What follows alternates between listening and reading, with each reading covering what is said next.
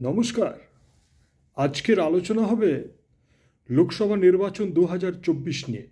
বিশেষ করে বর্ধমান, দুর্গাপুর যে লোকসভা কনস্টিটিউয়েন্সিটা আছে সেটা নিয়ে। তার মূল কারণ হচ্ছে আমি ওই কনস্টিটিউয়েন্সি যেটা আছে তার ভোটার, মন্তেশ্বর যে বিধানসভা, সেটা হচ্ছে আমার ভোট কেন্দ্র বা ওই বিধানসভার আন্ডারে আমার গ্রামটা আর কি। তাই স্বাভাবিক আগ্রহ একটু বেশি ওটা নিয়ে। তো আপনাদের কি মনে হয় কে জিতবে ওই নির্দিষ্ট লোকসভা কেন্দ্রটি থেকে?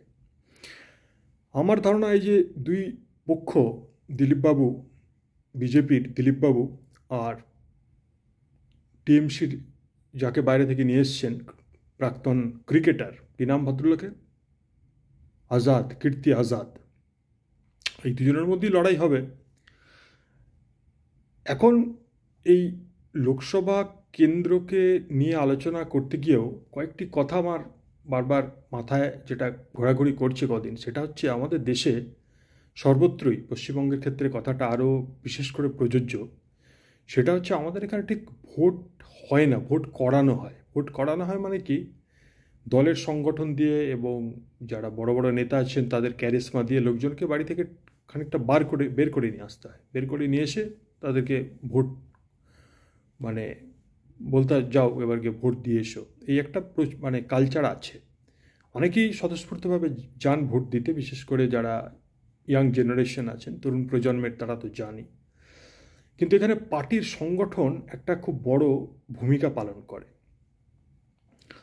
তো আমি যতদূর জানি, এই বিজেপি পার্টির সংগঠন পশ্চিমবঙ্গে এখনও ঠিক সেইভাবে দানা বাঁধেনি, সেইভাবে। আগের থেকে অবশ্যই অনেক মজবুত হয়েছে, এ নিয়ে কোনো সন্দেহ নেই। বামপন্থীরা তো বামপন্থীদের একটা দারুণ সংগঠন ছিল, কিন্তু তৃণমূলের উত্থান এবং ওদের ক্ষমতা হারাবার পরে সেটা অনেক দুর্বল হয়ে গেছে। কিন্তু চাপা বামপন্থী যারা বয়সে প্রবীণ, তারা ভেতরে ভেতরে এখন আছেন, সুযোগ পেলেই তারা বের হয়ে আসবেন, তবে সেই সুদিন এখনও আসেনি মানে বামপন্থীদের পক্ষে সেই সুদিন। ফলে মূল লক্ষ্য, মূল লড়াইটা আর পাঁচটা মানে জায়গার মতোই, এখানে তৃণমূল কংগ্রেস আর বিজেপির মধ্যেই হবে, সেটা স্বাভাবিক। এখন ভাবছিলাম যে এই যে ভোট করানোর ব্যাপারটা, এটাতে তো তৃণমূল অনেক বেশি এগিয়ে থাকবে, কোনো সন্দেহ নেই। কিন্তু তৃণমূল কংগ্রেসের যেটা মুশকিল হয়ে যাবে, সেটা হচ্ছে এই যে একটা হিন্দিভাষী এক, একটা ক্যান্ডিডেটকে তারা নিয়ে এসেছে। এই হিন্দিভাষী ক্যান্ডিডেট ধর আমাদের যে মানে বিধানসভাটি, মন্তেশ্বর, এটা একদম সম্পূর্ণ গ্রামীণ এলাকা। এখানে হিন্দি মানে জানা লোক খুব কম। একই কথা বলা যেতে পারে ভাতার যে যে কনস্টিটিউয়েন্সিটা আছে বিধানসভা। যেটি এই যে যে সাতটি নিয়ে এই বর্ধমান দুর্গাপুর, তার মধ্যে মন্তেশ্বর ভাতার, এই দুটিতে সম্পূর্ণ গ্রামীণ। এছাড়া গলসি ওখানে, ওটাও কতটা, ওখানেও বহু গ্রামীণ এলাকা আছে, বর্ধমানের যে দুটো আছে এবং দুর্গাপুরের দুটো আছে, দুই দুই, চার, আর এই তিন, সাত। সেখানেও একটা দীর্ঘ মানে গ্রামীণ এলাকা, বাংলা ভাষাভাষী মানুষ আছে যারা হিন্দি একবারেই বোঝে না। ফলে এটা একটা তৃণমূলের জন্য একটা খুব মানে কেন উনি মানে মমতা ব্যানার্জি কী ভেবে করেছেন সেটা আমি, আমার ঠিক বোধগম্য হচ্ছে না। একটাই বোধগম্য যেটা হচ্ছে মানে দুর্গাপুর অঞ্চলে, বর্ধমান অঞ্চলে অনেক অবাঙালি হিন্দিভাষী, বিহারি অনেক আছে, তাদের কথা ভেবে তারা হিন্দিতে কথা বলবে। শুধু হিন্দিভাষী ভোটারদের দিকে তাকিয়ে একজন বাইরে থেকে একজনকে নিয়ে আসা, এটা জানি না। এবার কীর্তি আজাদ তো আর মানে সেরকম কোনো মোহাম্মদ শামির মতো কোনো জনপ্রিয় ক্রিকেটার নন। উনি কবে খেলেছেন বা যে বিরাট মাপের ক্রিকেটার ছিলেন সেরকমও নয়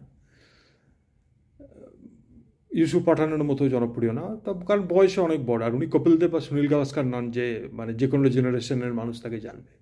ওনাকে চুজ করার পিছনে মূল কারণ যেটা, সেটা হচ্ছে আমার ধারণা দিল্লির কোনো অঙ্ক সেখানে লুকিয়ে থাকবে। আগে যেহেতু উনি বিজেপিতে ছিলেন, সাংসদ ছিলেন, সেখানে দিল্লির অনেক খবরাখবর উনি জানেন এবং অনেক সময় সরকার চালাতে গেলে এরকম ভেতরের অনেক কিছু খবরাখবর জানতে হয়, ভেতরের লোক কিছু লাগে। ফলে এখানে অন্য একটা অঙ্ক আছে।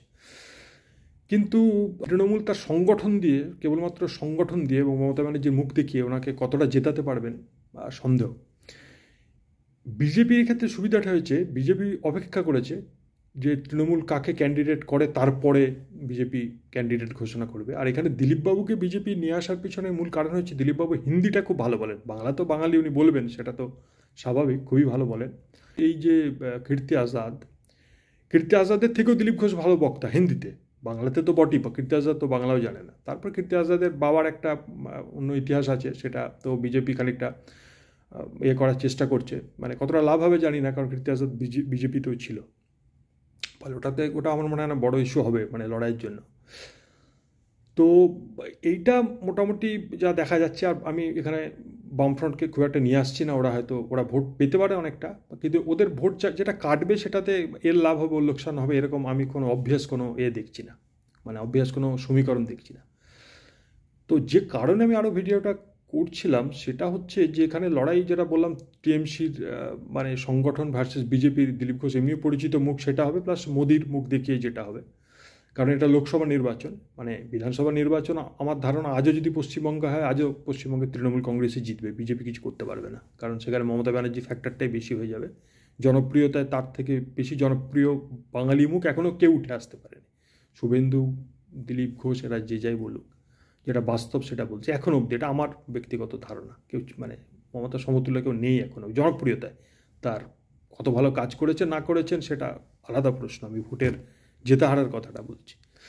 তো সেই জায়গা থেকে আমার যেটা মানে এই লড়াইটা আমার মনে হয় যদি এই পরিস্থিতিতে হয়, আপনাদের মতামতকে আপনারা অবশ্যই কমেন্ট বক্সে লিখে জানাবেন কে জিতবে এই কেন্দ্রটা থেকে বর্ধমান দুর্গাপুর কেন্দ্রটা থেকে। আমার যেটা মনে হয় এই মুহূর্তে মানে সব মিলে দিলীপ ঘোষ এগিয়ে থাকবেন দিলীপ ঘোষকে হারাবার যে ট্যাকটিক্স সেটা এই মুহূর্তে তৃণমূল কংগ্রেসের যেটা হওয়া উচিত, সেটা হচ্ছে প্রার্থী পরিবর্তন করা। প্রার্থী পরিবর্তন করা। শুনতে অবাক লাগল, আমি বলব প্রার্থী পরিবর্তন করানো উচিত। প্রার্থী পরিবর্তন করিয়ে, কারণ দিলীপ ঘোষের একটা বাজে স্বভাব আছে, উনি মানে ইতিমধ্যেই মমতা ব্যানার্জির কে মা মানে একটা জঘন্য কথা বলেছেন। একটা নারী বিদ্বেষী কথা বলা। বিধানসভার আগে উনি একই কাণ্ড করেছিলেন। এইটাকে তৃণমূলকে কাজে লাগাতে হবে। এবং এইটা কাজে লাগাতে তৃণমূল তখনই পারবে। এই কেন্দ্রের কথা আমি প্রথমে বলি। যদি আগেরবার যেমন টিএমসি যে, যিনি ক্যান্ডিডেট ছিলেন মানে আগের দুবার যিনি ছিলেন আগেরবার সামান্য ভোটে হেরেছিলেন, ওরকম একজন ক্যান্ডিডেটকে তৃণমূলকে খুঁজে বার করতে হবে। মমতাজ সংঘমিতা ডাক্তার ছিলেন, অত্যন্ত সুশিক্ষিতা হ্যাঁ অত্যন্ত বিনয়ী। আমি যেটুকু জানি, আমার বাড়িতে উনি একবার প্রচার করতেও এসেছিলেন। দু হাজার চোদ্দ সালের প্রচারটাতে বোধহয় উনি আমার দু হাজার হ্যাঁ দু হাজার চোদ্দোর প্রচারের সময় উনি আমাদের বাড়িতে এসেছিলেন জল খেতে। মানে ব্যক্তিগতভাবে ওনার সাথে যারা কথা বলেছে, তারা সবাই বলে অত্যন্ত খুব বিদুষী মহিলা, খুব ভালো ইয়ে খুব ভালো বক্তা নন। পার্লামেন্টে ওনার কিছু স্পিচ আছে, শুনেছি, খুব একটা ভালো, খুব ভালো কমিউনিকেটার নন। কিন্তু ডাক্তার নিজে খুব ওনার হয়তো বয়স হয়েছে, উনি এখন কি স্টেজে আছেন আমি জানি না। তো আমি ওনার কথাই বলছি না টিএমসির উচিত ওই স্ট্যাচারের ওই ঘরানার কাউকে প্রার্থী করা। প্রার্থী পরিবর্তন করে এরকম কিছু করা। ভূমি, ভূমিকন্যা খুঁজে বের করা। আর জেলার কেউ হলে সেটা আরও ভালো হবে। এবং একটা মহিলা প্রার্থী ওখানে দেওয়া। একটা বৃহত্তর বার্তাও যাবে। তার কারণ হচ্ছে এই যে দিলীপবাবুর নারী বিদ্বেষী কথা বলার একটা স্বভাব আছে। হ্যাঁ মানে বিয়ে শাদী করেননি বলে কিনা জানি না। না, বিয়ে শাদী না করলে সবাই যে এমন হয় তা নয়। এপিজে আব্দুল কালাম বা অটল বিহারী বাজপেয়ী, এরা কখনো খারাপ মেয়েদের সম্পর্কে বলেছেন, শুনিনি। দিলীপবাবুর এইটা একটা স্বভাব আছে। ওনার, উনি একটা মানে একটা আগুনের মতো। মানে আগুনটা কখনো ভালো কাজে লাগে মানে পার্টির জন্য, বিজেপির জন্য বলছি, এমনি সামগ্রিকভাবে বলছি না। আবার কখনো ওটা একটু ধ্বংসাত্মক হয়ে যায় আর কি। আর এই দিলীপবাবুরা যত বেশি নারী বিদ্বেষী কথা বলবেন, তত তৃণমূলের পক্ষে সুবিধা হবে সন্দেশখালির যে ঘটনা, সেই ঘটনাটাকে কাউন্টার করা। ঠিক আছে? তাই সেক্ষেত্রেও আমি বলব যে যদি এই লোকসভা কেন্দ্রে তৃণমূল কংগ্রেস একজন মহিলাকে ক্যান্ডিডেট করতে পারেন, তাহলে এই দিলীপ ঘোষের যে নারী বিদ্বেষী বক্তব্য, সেটাকে যেমন এই কনস্টিটিউন্সিতে উনি কাজে লাগাতে পারবেন মানে মহিলা যিনি আছেন, যিনি প্রার্থী হবেন, তিনি যেমন কাজে লাগাতে পারবেন বা তৃণমূল কংগ্রেস যেমন কাজে লাগাতে পারবে, তেমনি রাজ্য স্তরে তৃণমূলের বিরুদ্ধে যে একটা অভিযোগ উঠছে যে মহিলা মুখ্যমন্ত্রী বা মহিলা নেত্রী হওয়ার পরেও হ্যাঁ মেয়েরা এক ধরনের লাঞ্ছনা বা অত্যাচারের শিকার হচ্ছে, সেটা একটা ভালো তার কাউন্টার ব্যালেন্স হয়ে যাবে। এবার আপনি বলবেন প্রার্থী পরিবর্তন করলে হয়তো বলবে যে, দেখো, ভয় পেয়ে পালাচ্ছে বায়ে। সেটা ঠিক না, সেটা আপনাকে একটু পলিটিক্সে তো সবাই একটু অল্প স্বল্প মিথ্যাচার করে, চালাকি করে। মানে কি বললেই হলো যে কীর্তি আজাদের পেট খারাপ হয়ে গেছে বা মর্তমান কলা খেতে গিয়ে মানে বর্তমান কলার খোসায় পা লেগে পড়ে গেছেন, উল্টে পড়ে গেছেন।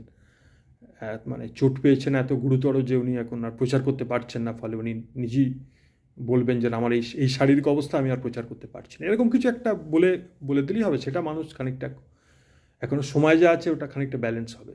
কিন্তু তা না হলে শুধুমাত্র মানে একজন বিহারি ওই সেন্টিমেন্ট দিয়ে অবাঙালি ভোটের উপর ভিত্তি করে কারণ মোদি আসবে এরপরে এটা যেহেতু জাতীয় নির্বাচন, মোদির একটা ক্যারিসমা জনপ্রিয়তা আছে তো কেউ অস্বীকার করতে পারবে না। তা না হলে দু হাজার উনিশ সালে বিজেপির যে সংগঠন ছিল, যা অবস্থা ছিল, অতগুলো ভোট ওর আঠেরোটা ভোট কোথা থেকে পায়? একমাত্র মোদির মুখ দেখিয়ে, এছাড়া তো আর কিচ্ছু নেই। রাজ্য বিজেপির এখনও যা অবস্থা, ওদের সেরকমভাবে মানে উল্লেখযোগ্য কোনো নেতৃত্ব এখন অবধি গড়ে ওঠেনি। হ্যাঁ যে যতই বলুক শুভেন্দু শুভেন্দু বন্ধু নিজের এলাকায় তাও ঠিক আছে, তাও নিজের এলা- এলাকা তো আগের বছর বিধানসভার ফল আমরা দেখেছি। নিজেরটা জিতেছে, সেটা বড় ব্যাপার, নন্দীকে নিজের এটাতে ঠিক আছে, জিতেছে মমতা ব্যানার্জিকে হারানো চারটিখানি কথা নয়। কিন্তু সামগ্রিকভাবে অবিভক্ত মেদিনীপুরে কী ফলাফল করেছে, কিছুই করতে পারেনি। তো এইটা হচ্ছে ব্যাপার, এটাই আমার তৃণমূল কংগ্রেসের কাছে অনুরোধ, আমার মাননীয় মুখ্যমন্ত্রীর কাছে অনুরোধ যে উনি যদি এই লড়াইটাকে একটু এ করতে চান, তাহলে এটি করতে পারেন। তো যাই হোক, আপনারা, আপনাদের সুচিন্তিত মতামত আমাকে লিখে জানান। কে জিতবে মনে হচ্ছে এখানে, কোন পার্টি জিতবে? আর আমি যে কথাটা বললাম যে তৃণমূল কংগ্রেসের প্রার্থী পরিবর্তন করা উচিত, এ সম্পর্কেও আপনার বা আপনাদের কি মতামত, অবশ্যই কমেন্ট বক্সে লিখে জানাবেন। সকলে ভালো থাকবেন। নমস্কার।